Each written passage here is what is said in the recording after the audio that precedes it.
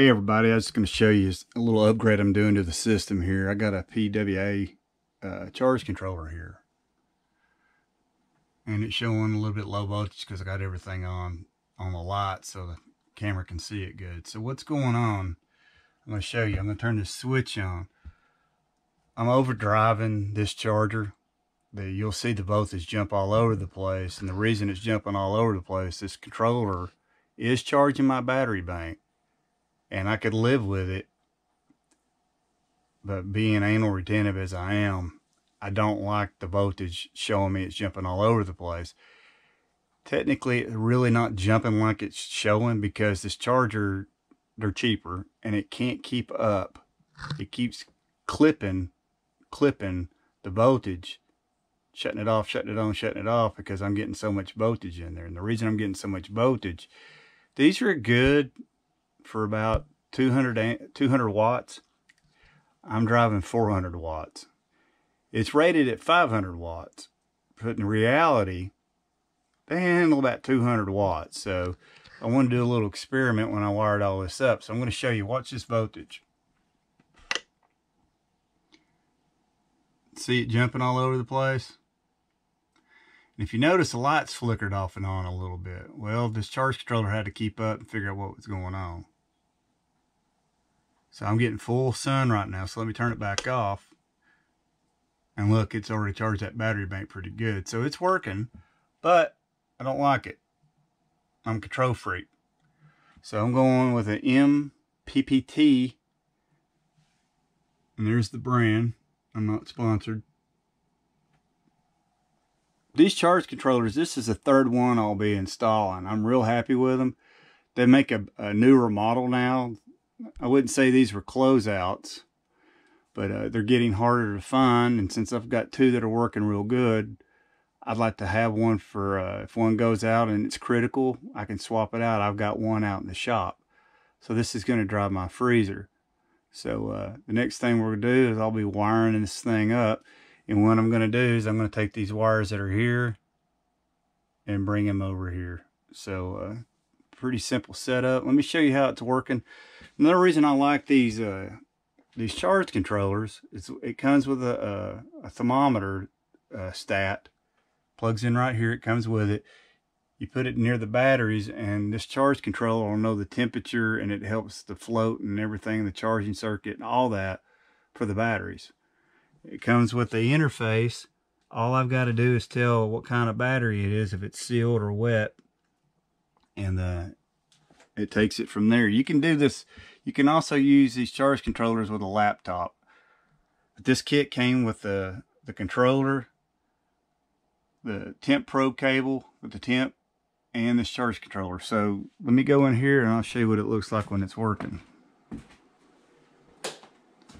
And I really like these things. So me being a little anal retentive, I like looking over here and seeing that green light flash. If it's flashing, it's charging. And with this controller, you can see it's got the icon showing the voltage is coming in. You can see the voltage that's coming in, the amperage, everything at a glance. And my this is for my refrigerator and I'm at 31. It's a pretty solid charge controller. I haven't had any trouble with these. Something I do, you'll see this washer I got there. I like an air gap on these things. Uh, they don't get hot, but hey, if you got air flowing around a component, it just makes them last longer. So what I did, we'll go back in here. What I did for an air gap, I just want to try something different kind of match the cabin a little bit more in here. See the wood? I've got an air gap. Air can flow and come out. I think that's pretty critical.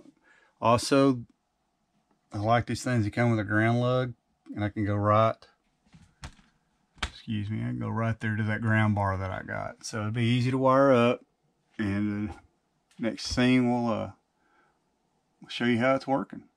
And uh, appreciate you watching and hanging out with me and just something to learn. Like I said, these are good for about 200 watts. And I've got 200 watt panels on this one. And you can see the sun's barely hitting those panels right now and it's charging. So I'm going to leave this charge controller. I like knowing what my panels are doing on these. These are the ones that are on my sun shields that are above my windows. This is just kind of an afterthought uh, component system that I put in. I was putting the sun shields up and I said, you know, I ought to just go ahead and put panels on them. And uh, they'll give me the last bit of sun in the evening. So uh, hopefully I'll get the best of both worlds. So next thing, we're going to be wiring this thing up. And I, I, another reason I want to make this video is I want to show you an MPPT versus these cheaper ones and what you get versus what you get.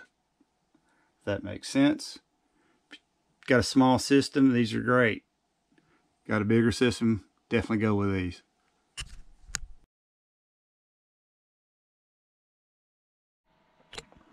All right, we're back. So just walk through this real quick. There's the, I call it the charging circuit. This comes from the batteries.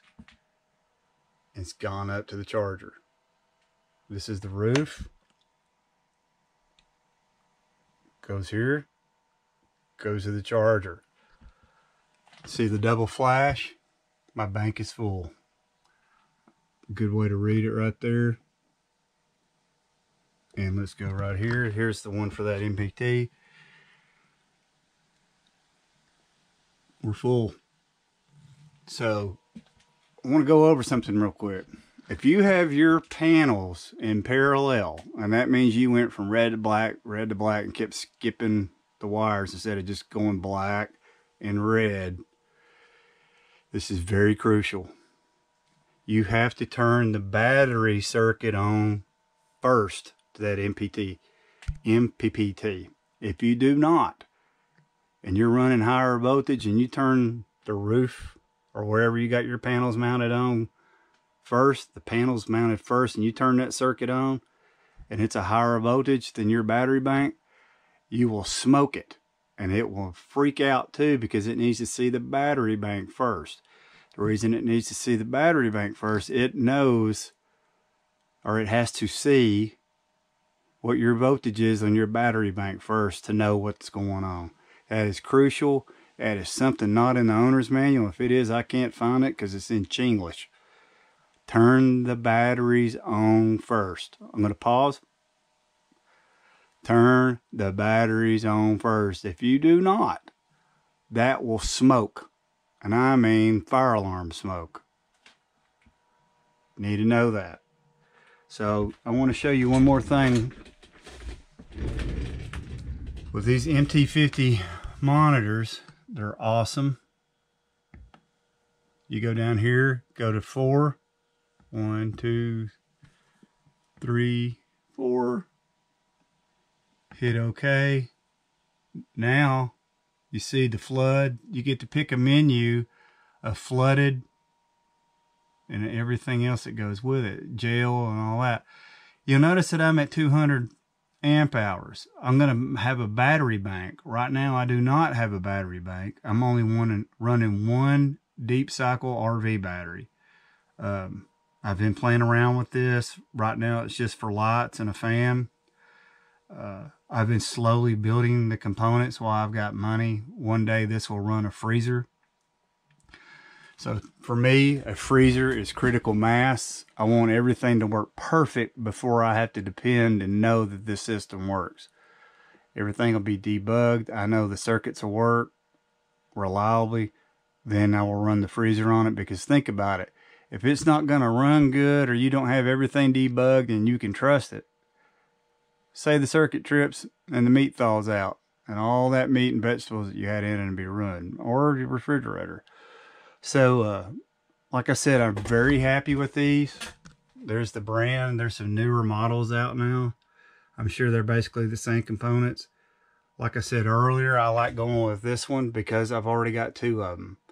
Uh, I can walk by, see that double flashing, and I know that I'm fully charged. That's just a good, warm, fuzzy feeling for me. So, uh, these cheaper ones versus these more expensive ones, to me, it's worth it.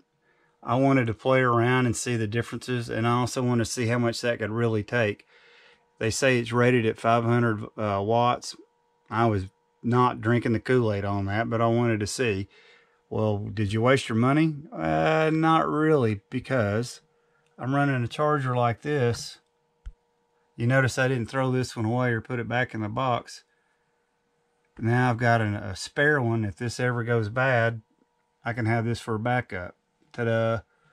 And being off-grid and being self-reliant, to me, that's just a smart way to go. If this does go bad, I've got one out in the shop. Like I said earlier, I can swap it out and get online and try to find me another component you need to be self-reliant. You need to be able to work on this stuff yourself.